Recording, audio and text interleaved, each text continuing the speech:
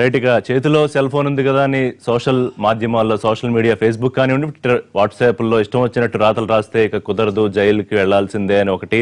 రెండోది ముఖ్యంగా పొలిటికల్ యాంగిల్లో చూసుకుంటే ఇష్టం వచ్చినట్టుగా ఆధారాలు లేకుండా ఆరోపణలు చేస్తే జైలుకి వెళ్ళాల్సిన పరిస్థితి వస్తుందా? గతంలోనే తెలంగాణ సీఎం కేసీఆర్ ఈ సందర్భంగా ఇటువంటి వ్యాఖ్యలు కూడా చేశారంటే ఇష్టం వచ్చినట్టు ఆరోపణలు చేస్తే ఆధారాలు చూపించలేకపోతే కనుక జైలుకి పంపిస్తామని. ఇప్పుడు అదే అనుసరించి కొత్త చట్ట సవరణకు కీలక చట్ట సవరణకు ఫైళ్ళు కదలడానికి ముఖ్యమంత్రి సంతకం చేశారు. నిన్న ఏం జరగబోతోంది? మరి ఇది భావ స్వేచ్ఛకు సంఖ్యలని లేకపోతే ఎవరు స్వేచ్ఛగా తమ అభిప్రాయం చెప్పకుండా ఉండడానికి అడ్డుకట్టలు వేస్తున్నారని చెప్పి కొన్ని రకాల విమర్శలు వస్తున్నాయి ఏం జరిగే అవకాశం ఉంది? దీని సంబంధించి మాట్లాడితే వాళ్ళ డిస్కషన్లో మనతో పార్టిసిపేట్ చేస్తున్నారు శ్రీధర్ నల్లమోతు ప్రముఖ టెక్నికల్ ఎక్స్పర్ట్గా ఉన్నారు వారు. అలాగే నేరళ శారద గారు తెలంగాణ కాంగ్రెస్ మహిళా అధ్యక్షురాలు జీవన్ రెడ్డి ఉన్నారు. ఆర్మూర్ ఎమ్మెల్యే టీఆర్ఎస్ ముఖ్య నాయకులు ఎన్నికలు పెద్దిరెడ్డి గారు మాజీ మంత్రి తెలుగుదేశం పార్టీ సీనియర్ నాయకులు. రైట్ శారద గారు ఈ టెక్నికల్ అంశాల్లోకి వెళ్ళే ముందు పొలిటికల్గా అంటే ఇప్పుడు కాంగ్రెస్ పార్టీ టిఆర్ఎస్ ముఖ్యంగా అంటే వాదోపవాదాలు ఆరోపణలు ప్రత్యారోపణలు ఈ మీ రెండు పార్టీల మధ్య ఎక్కువ మనం చూస్తూ ఉంటాం. సరే తెలుగుదేశం పార్టీ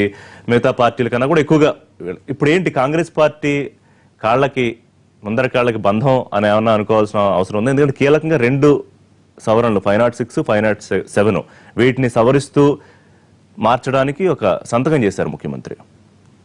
డెఫినెట్గా ఆ విధంగానే ఆలోచన చేయాల్సిన అవసరం ఉందండి. ఎందుకంటే ప్రజలు ఎన్నుకున్నటువంటి ఎమ్మెల్యేలు ఎవరైతే ఉన్నారో వాళ్ళకే అసెంబ్లీలో మాట్లాడే అటువంటి పరిస్థితి లేదు. మనం అందరం చూస్తున్నాము. ప్రజల దగ్గరికి వెళ్ళినప్పుడు ప్రజల ఇబ్బందులను తెలుసుకొని అసెంబ్లీలో మాట్లాడదామంటే అసలు మాట్లాడేటువంటి అవకాశం లేదు వాళ్ళకు. అయితే బయటకు వెళ్ళిపోవాల్సిందే వీళ్ళే బయటకు పంపించేస్తారు. లేదనంటే మైక్ కట్ చేస్తారు. లేకపోతే అక్కడ ఉన్నటువంటి మినిస్టర్లు కానివ్వండి గొంతు గట్టిగా ఉన్నటువంటి ఎమ్మెల్యేలు కానివ్వండి అరవడం మొదలు పెడతారు అంటే బయట స్వతంత్రం లేదు.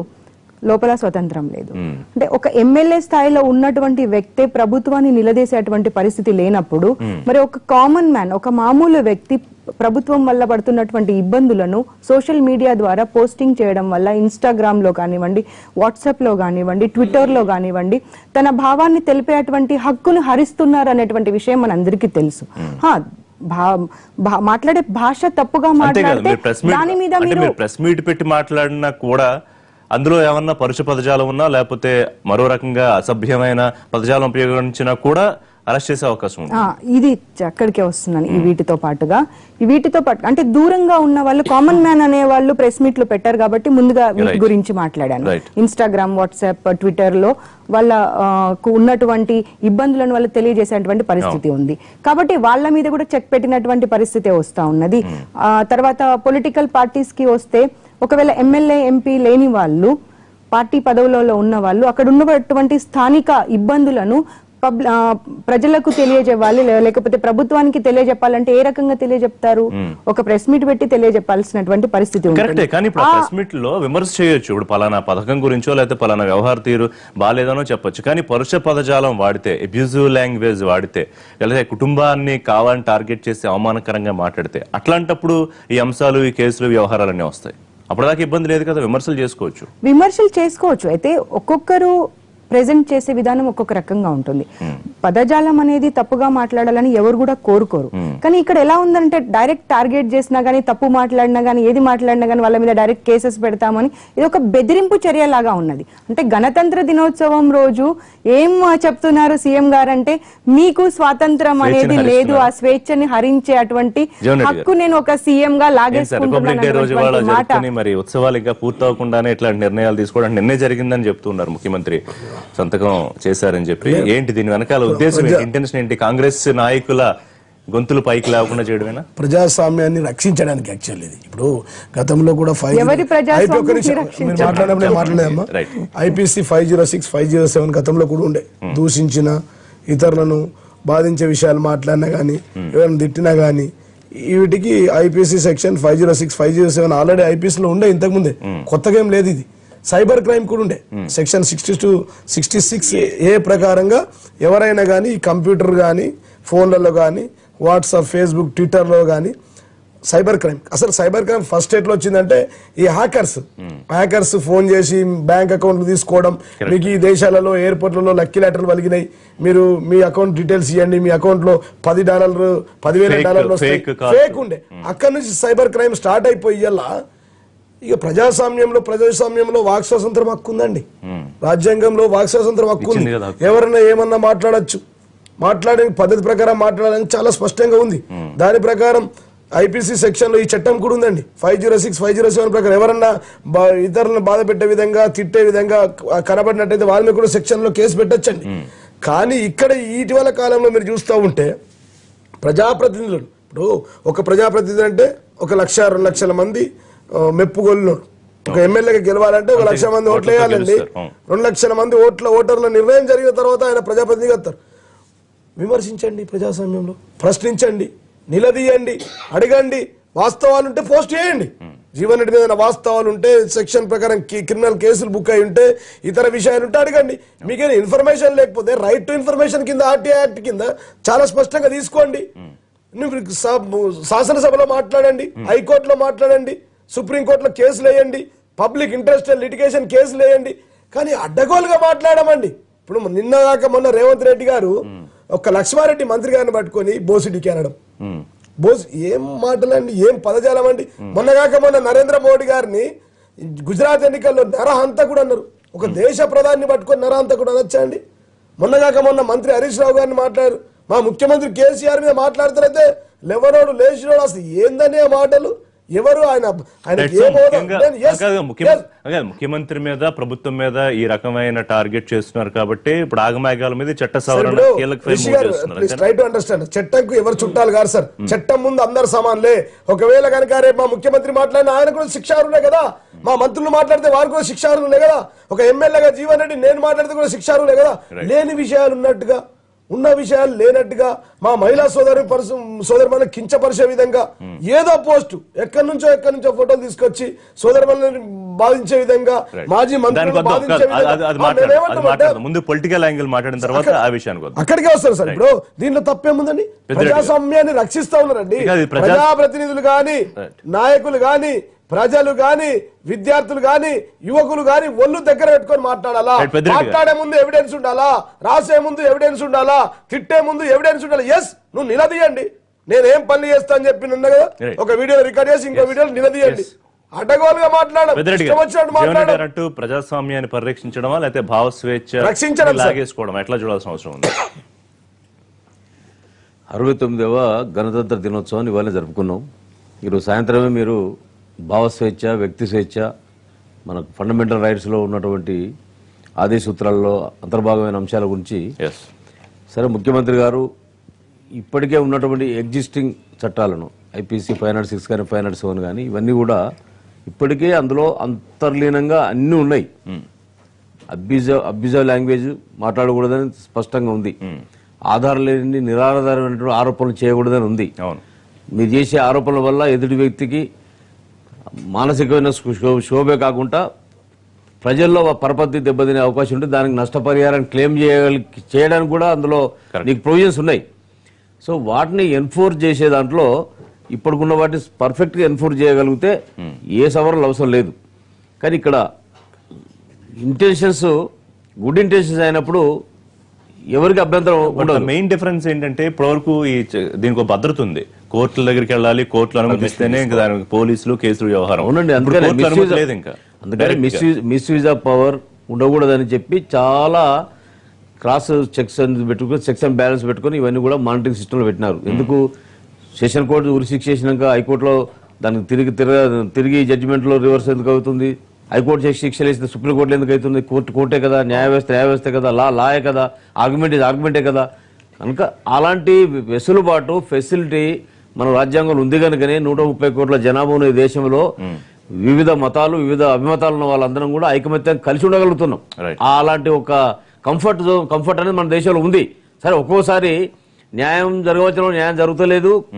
న్యాయం జరగవలసిన సమయంలో జరగకుండా డిలే కూడా అవుతా ఉంది. అడ్డు ఇవన్నీ ఉన్నాయి. కానీ ఈ భద్రతను అడ్డు పెట్టుకుని కోర్టులకు వెళ్తే తప్ప కేసులు లేవనే వ్యవహారాన్ని మరి ఎవరి ఇష్టారీతిన వాళ్ళు అందుకనే అది ఖచ్చితంగా దానికి ఎట్లా అడ్డుకట్ట అందుకే నేను ఇప్పుడు ఇక్కడ ఏమైందంటే నచ్చితే ఒక రకంగా నచ్చకపోతే ఒక రకంగా అనేది రాజ్యాంగం పరంగా రాజ్యాంగ పరంగా ప్రజాస్వామ్య ప్రభుత్వాలలో ప్రజాస్వామ్య దేశంలో సాధ్యం కాదు. దీంట్లో కొన్ని లిమిటేషన్స్ ఉంటాయి.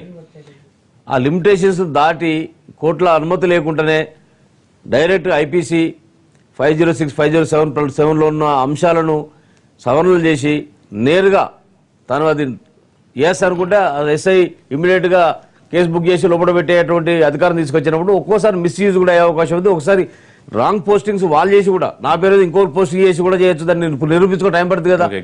నా- పేరు మీద పోస్ట్ చేసేసి పోస్ట్ ఆధారంగా నా మీద అరెస్ట్ చేస్తారు.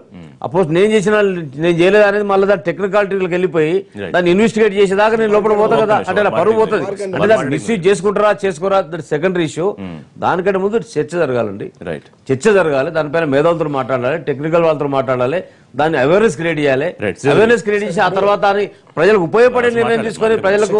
లాభం జరిగేటువంటి అవకాశం అయితే అలాంటి ఏమైనా నిర్ణయాలు మార్పు చేస్తే ఎవరికి అభ్యంతరం ఉండదు. రైట్ ఇప్పుడు టెక్నికల్ అంశాల విషయానికి వస్తే సరే చాలా క్లియర్గా మనకి ఇప్పటివరకు కోర్టులు అనుమతి ఉండాలి ఆ తర్వాతే పోలీసులు అరెస్టులు వ్యవహారం. కానీ ఇప్పుడు ఈ సవరణ ద్వారా డైరెక్ట్గా వారు చెప్పినట్టుగా కేసు ఫైల్ చేసి అరెస్ట్ చేసి లోపలికి పంపించేసే అవకాశం ఉంటుందా? రెండోది ఈ బెదిరింపులు కొన్నిటికి ఎవిడెన్సెస్ ఉంటాయి. కొన్నిటికి ఎవిడెన్సెస్ ఉండకపోవచ్చు. ఎట్లా వీటిని డిఫరెన్షియేట్ చేసే అవకాశం అంటే వాస్తవంగా ఇక్కడ దీన్ని తీసుకురాగలిగితే కనుక అంటే ఈ ఏదైతే అమెండ్మెంట్స్ తీసుకొచ్చేసి డైరెక్ట్ కేసు ఫైల్ చేసే విధంగా తీసుకురాగలిగితే ఫస్ట్ నష్టపోయేది ఎవరంటే ప్రతి పార్టీకి సోషల్ మీడియా వింగ్స్ ఉన్నాయి చూసారా? ఆ వింగ్స్లో వెచ్చలవిడిగా ఆపోజిట్ పొలిటికల్ పార్టీస్ని అందులో ఉండే ప్రముఖ లీడర్స్ అందరిని కార్టూన్స్ వేసేసి అదేమంటే కనుక మా భావ ప్రకటన స్వేచ్ఛ అంటారు. కార్టూన్లు వేస్తారు ఇష్టం వచ్చినట్టుగా రాస్తూ ఉంటారు. కొన్ని షార్ట్ ఫామ్స్ అంటే నిజంగా లీడర్ పేరు చెప్పరు. లీడర్ పేరు చెప్పకుండా ఏదో ఒక షార్ట్ ఫామ్ పెట్టేసేసి నిక్ నేమ్ పెట్టేసేసి ఆ నిక్ నేమ్ ఎవరు అన్నది విష- విషయం అన్నది మిగతా వాళ్ళందరికీ పబ్లిక్ తెలుసు. కానీ ఇది ఎవిడెన్స్ అని చెప్పేసి తీసుకురావడానికి కూడా స్కోప్ లేని విధంగా బిహేవ్ చేస్తూ ఉంటారు. ఖచ్చితంగా సోషల్ మీడియా వింగ్స్ అనేది ఎక్కువగా నష్టపోయే అవకాశం అనేది ఉంటుంది. వన్ మోర్ థింగ్ ఇంతకు ముందు సిక్స్టీ సిక్స్ ఏ ఉన్నప్పుడు చాలా మంది ఎంతో కొంత అడ్డుకట్ట వేయడానికి అవకాశం ఉందని చెప్పేసి భావించగలిగే వాళ్ళు సో ఇలా అడ్డుకట్ట వేయగలిగితే గనక ఏదైనా వెచ్చలవిడిగా బిహేవ్ చేయటం భావ ప్రకటన స్వేచ్ఛ అనేది ఎంతవరకు అంటే నీకు నేను ఒక వ్యక్తిగాను లేకపోతే గనక ఒక పార్టీ తరఫున అభిప్రాయం చెప్పొచ్చు. అభిప్రాయం చెప్పొచ్చు. నాకు విధానం నచ్చలేదు ప్రభుత్వం నచ్చలేదు లేదా ఆపోజిట్ పార్టీ లీడర్ నచ్చలేదు. సో ఖచ్చితంగా నాకు ఫలానా పని చేస్తున్నాడు కాబట్టి లేదా ప్రభుత్వం ఫలానా విధంగా స్పందించట్లేదు కాబట్టి నా సమస్యకే నాకు నచ్చలేదు. సో ఇలా స్పందించట్లేదు అని చెప్పేసి నా అభిప్రాయం వరకు చెప్పవచ్చు అలా కాకుండా బండపూతులు తిప్పట తిట్టడం లేకపోతే పార్టీ అభిమానులు అంతా కూర్చొని మీరు చూస్తే ఫేస్బుక్ ఇలాంటి వాటిల్లో కనీసం మన మాటల్లో చెప్పుకోవడానికి కూడా వీళ్ళంత బూతులు తిట్టుకుంటా ఉంటారు. సో ఇలాంటి వాళ్ళనైనా కానీ కనీసం ఇది సంస్కృతి కాదు అని చెప్పేసి అన్నది కొంతవరకు కట్టడి చేయాల్సిన అవసరం ఉంది. లేకపోతే కనుక మనం ఈ పొలిటికల్ సిస్టమ్ అలాగే ఓన్లీ పాలిటిక్స్ కాదు ఎంటర్టైన్మెంట్ ఫీల్డ్ కూడా ఇలాగే బడ్డబుద్ధులు తిట్టుకుంటా ఉన్నారు హీరోల ఫ్యాన్స్. వీటన్నిటిని మనం కట్టడి చేయగలిగితే కనుక సొసైటీని ఒక కంటి ఏది ప్రొడక్టివ్గా తీర్చదిద్దగలుగుతా ఉంటాం. సో ఈ చట్టం రావాలి వెల్కమ్ చేయాలంటారు. హండ్రెడ్ పర్సెంట్ వెల్కమ్ చేయాలి. కాకపోతే మీరు అన్నట్లుగా ఎవిడెన్సెస్ ఎక్కడి నుంచి తీసుకురావాలి? ఎవిడెన్సెస్ అనేది ఫర్ ఎగ్జాంపుల్ నేను తిట్టున్నాను. ఒక పార్టీను లేకపోతే ఒక లీడర్ తిట్టున్నాను. సో నేను ఏ విధంగా తిట్టున్నాను? ఒక నిక్ నేమ్ పెట్టి తిట్టున్నాను. సో నన్ను ఎలా ఫైండ్ అవుట్ చేస్తారు? నేను డైరెక్ట్గా నేను పార్టీని ఏం అనలేదు. లీడర్ ఏం అనలేదు. నన్ను ఎలా పట్టుకుంటారు మీరు? నేను ఆటోమేటిక్గా కోర్సు కేసు నిలవదు. రైట్ సో ఇలాగా అడ్డదారులు తిట్టే వాళ్ళనైనా కానీ కొన్ని కొన్ని లూప్ హోల్స్ని బేస్ చేసేసుకుని మనం దాన్ని కూడా టైటన్ చేసుకోగలిగితే గనక అవకాశం ఉంటుంది. ఇంకొకటి ఏంటంటే మిస్యూజ్ చేయకుండా ఉండాల్సి ఉంటుంది. ఇప్పుడు మన అధికారంలో ఉన్నా కదని చెప్పేసి ప్రతిపక్షాలను లేకపోతే కనుక ఇప్పుడు అధికార పార్టీ రేపు ప్రతిపక్షంలోకి వెళ్ళొచ్చు ఎప్పుడైనా చట్టం అనేది అందరికీ కామన్గా ఉండగలిగే విధంగా ఉండగలిగే ఒకటి ఇప్పుడు పొలిటికల్ పార్టీస్ పరంగానే కాకుండా పర్సనల్ కెపాసిటీస్లో కూడా మిస్యూజ్ అయ్యే అవకాశం 100% misuse అవుతుంది. ఇప్పుడు ఫోర్ నైన్టీ ఎయిట్ ఏ గానీ ఇలాంటి కొన్ని కొన్ని సందర్భాల్లో కొన్ని చోట్ల మిస్యూజ్ అయ్యాయి అసలు సిక్స్టీ సిక్స్ ఏ కొట్టేయడానికి కూడా. సిక్స్టీ సిక్స్ ఏ కొట్టేయడానికి కూడా మనకు అదే కేరళలో ఎవరో ఒక పొలిటికల్ పార్టీ మీద లేకపోతే ఇలాగా ఒక విద్యార్థిని చేస్తే అరెస్ట్ చేసేస్తున్నారు. ఆటోమేటిక్ ఇలాంటి కొన్ని కేసెస్ జరిగిన తర్వాత సుప్రీంకోర్టు ఇది దుర్వినియోగం అవుతుందని చెప్పేసి దాన్ని కొట్టేయడం జరిగింది. సో ఇక్కడ మనం ఇలాంటి చట్టం తీసుకొచ్చినప్పుడు ప్రాపర్గా ఇంప్లిమెంట్ అయ్యే విధంగా మనం చేయగలిగితే గనక ఖచ్చితంగా దాని నుంచి ప్రయోజనం అయితే ఉంటుంది. రైట్ శారద గారు ఇప్పుడు వారు పాయింట్ తీసుకొచ్చారు. అంటే దీన్ని కేవలం కాంగ్రెస్ పార్టీనో మరొక ప్రత్య ప్రత్యర్థి పార్టీనో టార్గెట్ చేసుకున్నట్టు చూడాల్సిన అవసరం ఉందా? లేకపోతే విడతనంగా ఏది పడితే అది మాట్లాడిస్తూ ఇక అసలు అంటే ముఖ్యమంత్రి అయినా ఒకటే ప్రధానమంత్రి అయినా ఒకటే లేకపోతే గౌరవ ప్రజాప్రతినిధి అయినా ఒకటే ఏదైనా పదాలు వాడుతూ ఉపయోగన్నారు మరి వాళ్ళకి ఖచ్చితంగా ఇది బ్రేక్ వేసే ఒక చట్టంలాగా ఎందుకు చూడట్లేదు? ఇప్పుడు చట్టం ఇది ముందు నుండి ఉంది అనేటువంటి విషయం మనం అందరం మాట్లాడాము. మరి ఇంతకు ముందు టి- అధికార పార్టీకి సంబంధించినటువంటి ముఖ్యమంత్రి గారు వారికి సంబంధించిన మంత్రులు ఎమ్మెల్యేలు ఎమ్మెల్సీలు సన్నాసులు దద్దమ్మలు అని ఇంకా చాలా భయంకరమైనటువంటి పదాలు వాడారు ప్రతిపక్షాల గురించి. అప్పుడు ఏమైందండి వీళ్ళకు? అప్పుడు గుర్తుకు రాలేదా ఈ సెక్షన్స్ అన్ని? ఈ- మాటలు మేము మాట్లాడకూడదు ఒక ముఖ్యమంత్రి హోదాలో ఉండి ప్రతిపక్షాన్ని ఇలా మాట్లాడకూడదు అనేటువంటి విషయం ఆయన గుర్తుకు రాలేదా? ఇవాళ ఈయన రేవంత్ రెడ్డి గారి గురించి వీళ్ళందరి గురించి అంటే ఇప్పుడు మీరు మొత్తం మీ స్థాయి ఎక్కువ ఎక్కువ అయిపోయింది. బహుశా అప్పుడు అందుకే తీసుకొస్తున్నారు వాక్చాతుర్య ప్రతి. ఒక్కరికి ఉండాలండి. మీరు అన్నట్టుగా శ్రీధర్ గారు చెప్పినట్టుగా ఎవిడెన్సెస్ ప్రూఫ్స్ అనేది కూడా చాలా ఇంపార్టెంట్ అంతేకాకుండా ప్రజలు వారి అసంతృప్తిని తెలియజేయడం కోసము ఒక స్వేచ్ఛ అనేది ఉండాల్సినటువంటి అవసరం ఉన్నది. దాంట్లో క్లారిటీ అనేది మీరు అన్నట్టుగా ఆ పదజాలము చెడుగా మాట్లాడితే అది ఒకటి అంతేకాకుండా డైరెక్ట్గా టార్గెట్ చేస్తే కూడా కేసెస్ పెడతామనేటువంటి మాట చెప్తా ఉన్నారు. మరి డైరెక్ట్గా టార్గెట్ మిమ్మల్ని చేయకపోతే ఎవరు ఎవరిని చేస్తారు ప్రజలు? ఎందుకంటే మీరు ఇచ్చినటువంటి హామీలు మీరు ఫుల్ఫిల్ చేయకపోతే మిమ్మల్ని కదా టార్గెట్ చేసేది. ఇప్పుడు ప్రభుత్వం పలానా పథకాన్ని సక్రమంగా నిర్వహించట్లేదు లేకపోతే మాట ఇచ్చి తప్పింది ఇట్లాంటి విమర్శలు చేయొచ్చు. కానీ ఇప్పుడు విమర్శలు ఇవాళ అలా ఉన్నాయా? ఇప్పుడు ప్రభుత్వాలనే కాదు రాజ్యాంగ పదవుల్లో ఉన్న వాళ్ళని కూడా ఎంత అంటే అంత దూషించే పరిస్థితి కూడా మనం చూస్తూ ఉన్నాం ఈ మధ్య. పార్టీల పేర్లు ఎందుకే? ప్రతి పార్టీలో అదే చెప్తా. ఉన్నాను. ఇప్పుడు ధర్నా చౌక్ తీసేశారు. ధర్నా. చౌక్ తీసేశారు. చాలా మంది ఉద్యోగాలు ఇస్తామని చెప్పి ఉద్యోగాలు రాకపోయేసరికి ఆత్మహత్యలు చేసుకున్నారు. ఇప్పుడు మీ ఇంట్లో మీ కొడుకు ఆత్మహత్య చేసుకొని గనక చనిపోతే అప్పుడు చాలా మంచి పదజాలంతో సీఎం గారికి వాళ్ళు ఒపీనియన్ తెలియజేస్తారా? లేకపోతే వాళ్ళ ఆవేదనలో బాధలో కొంత పదజాలం అనేది ఆ, భయంకరంగా ఉంటుందా? అది కూడా ఆలోచించే దిశగా మనం ఉండాలి. అంటే దాంట్లో క్లారిటీ ఉండాలి. డెఫినెట్గా ఆ, వాక్ స్వాతంత్రం అనేది మటుకు డెఫినెట్గా ఉండాలి. అందరం చదువుకున్న వాళ్ళమే కాబట్టి అంటే విఘ్నతతో మాట్లాడాల్సినటువంటి అవసరం ఉన్నది. అంతేకాకుండా ఇందాక మనము ఈ ఫిల్మ్ ఇండస్ట్రీస్ వాళ్ళ గురించి మాట్లాడుకున్నాం ఇవాళ అందరూ రోడ్డు ఎక్కుతున్నారు. చిన్న చిన్న వాళ్ళు అంటే ఫేమస్ అయిపోవడం కోసం కూడా ఒక స్టేట్మెంట్ ఇవ్వాలి ఆ స్టేట్మెంట్ పైన అనేది లేదు. ఆ స్టేట్మెంట్ పైన ఓ వారం రోజులు నెల రోజులు దాని మీద డిబేట్లు జరగాలి బయట ఈ వీళ్ళ ఫ్యాన్స్ వాళ్ళ ఫ్యాన్స్ కొట్టుకోవాలి ఆ సినిమాని హిట్ చేయాలా లేకపోతే ఆ హీరో హిట్ అవ్వాలా లేకపోతే ఒక యాక్టర్ మరుగున పడిపోయాడు అనుకోండి ఆ యాక్టర్ని మళ్ళీ లైమ్ లైట్లోకి తీసుకురావాలి అంటే కూడా ఇలాంటివి చాలా అయిపోయాయి. కాబట్టి దానిపైన ఒక క్లారిటీ అనేది కూడా ఇవ్వాల్సినటువంటి అవసరం ఉంది పాజిటివ్గా మంచి కోసం వాడితే ఇబ్బంది లేదు. కానీ మీరు అన్నట్టు చెడు చేసేలా ఉంటే ఏం చేయాలని ఆలోచించాలి. ఒక బ్రేక్ Definitely. బ్రేక్ తర్వాత జగన్ రెడ్డి గారు మీరు చెప్తారు. కానీ అంటే ఇంటెన్షనల్గా ప్రభుత్వం కంట్రోల్ చేయడానికి ప్రతిపక్షాలని లేకపోతే ఇట్లాంటి కొత్త చట్టాలు తీసుకురావాలనుకుంటుందా? లేకపోతే గతంలో చెప్పినట్టు మీరు ఆరోపణలు చేయండి కానీ దానికి సరైన ఆధారాలు లేకపోతే జైలుకి వెళ్ళాల్సి ఉంటుంది అనేది చాలా స్పష్టంగా చెప్పడానికి తీసుకురాబోతోంది